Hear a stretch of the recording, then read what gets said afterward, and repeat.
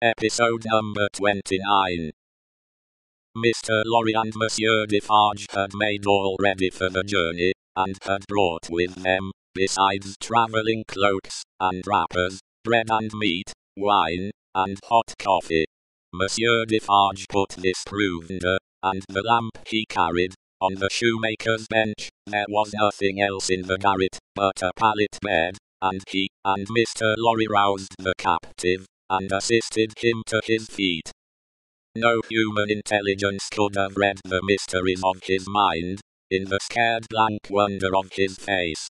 Whether he knew what had happened, whether he recollected what they had said to him, whether he knew that he was free, were questions which no sagacity could have solved.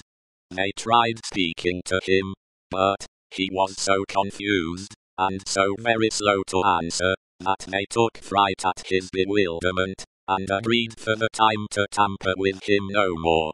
He had a wild, lost manner of occasionally clasping his head in his hands, that had not been seen in him before, yet, he had some pleasure in the mere sound of his daughter's voice, and invariably turned to it when she spoke.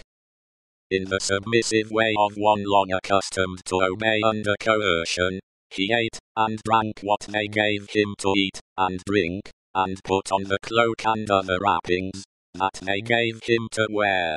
He readily responded to his daughter's drawing her arm through his, and took, and kept, her hand in both his own. They began to descend, Monsieur Defarge going first with the lamp, Mr. Lorry closing the little procession. They had not traversed many steps of the long main staircase when he stopped, and stared at the roof, and round at the walls. You remember the place, my father? You remember coming up here? What did you say? But, before she could repeat the question, he murmured an answer as if she had repeated it. Remember? No, I don't remember. It was so very long ago that he had no recollection whatever of his having been brought from his prison to that house, was apparent to them. They heard him mutter, 105, North Tower, and when he looked about him, it evidently was for the strong fortress walls, which had long encompassed him. On their reaching the courtyard he instinctively altered his tread, as being in expectation of a drawbridge, and when there was no drawbridge, and he saw the carriage waiting in the open street, he dropped his daughter's hand, and clasped his head again. No crowd was about the door, no people were discernible at any of the many windows, not even a chance passerby was in the street. An unnatural silence and desertion reigned there.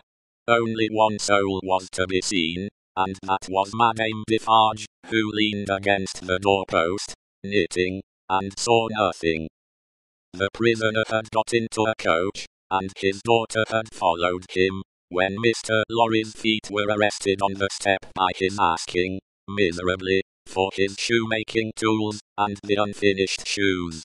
Madame Defarge immediately called to her husband that she would get them, and went, knitting, out of the lamplight, through the courtyard. She quickly brought them down, and handed them in, and immediately afterwards leaned against the doorpost, knitting, and saw nothing.